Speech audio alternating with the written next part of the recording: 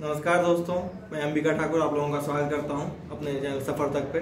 तो दोस्तों, जैसे आप लोगों को बताया बताया था मैं पिछले वीडियो के माध्यम से कि हम लोगों का एग्ज़ाम चल रहा है तो हम लोगों का आज जो है टोटल भाईवा भी और पूरा एग्ज़ाम जो था वो भी आज कंप्लीट हो गया है।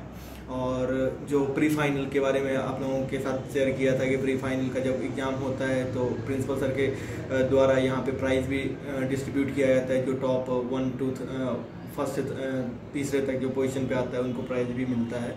तो दोस्तों, आज जो भी टॉप किए उनके लिए बहुत बड़ी खुशखबरी है कि उनको P C M P C O M जो यहाँ के हैं, उनके द्वारा प्राइज़ दिया जाएगा। तो उसी के बारे में हम आज बताने वाले हैं। आज शाम को सात बजे जो है वही प्रोग्राम है पी सी एम साहब आएँगे और जो भी टॉपर हैं उनको प्राइज़ दिया जाएगा और शाम को कुछ डीजे उजे और खाने का भी यहीं जेड आर टी एम जो प्रिंसिपल हैं उन्हीं के द्वारा ऑर्गेनाइज किया जा रहा है। तो ये आज का जो हम लोग का जो लास्ट डे है वो काफ़ी इंटरेस्टिंग होने वाला है। और नीलेश जी भी ये नीलेश जी हैं जो हमारे साथ हम साथ में ट्रेनिंग हम लोगों ने किया है। तो नीलेश जी आपको बताइए कुछ ट्रेनिंग कैसा रहा आपका एग्ज़ाम कैसा हुआ? एग्ज़ाम सही गया है सब सारा एग्ज़ाम और अब तो रिज़ल्ट का इंतज़ार हो रहा है जब तक रिज़ल्ट नहीं आता तब तक थोड़ा लगा रहता है भाई लगा रहता जी तो सही बात है कि जब तक रिज़ल्ट फाइनल रिज़ल्ट नहीं आ जाएगा तब तक थोड़ा सा डर लगा ही रहता है कि क्या होगा नहीं होगा। डर फेल होने का भी चांसेस रहता है। वैसे एक बैच का जो तो रिज़ल्ट आज आ गया है, पाँच बटे बाईस का जो हम हम लोग के साथ ही ट्रेनिंग चल रहा था तो उनका आज फाइनल रिज़ल्ट आया है। तो उनमें सारे के सारे पास हो गए हैं। तो ये अच्छी बात है कि जो जो भी उन बैच में था, सब पास हो गए हैं। और हम लोगों को जो है, बीस को यहाँ से फिर डीआरएम ऑफ़िस में रिपोर्ट करना है।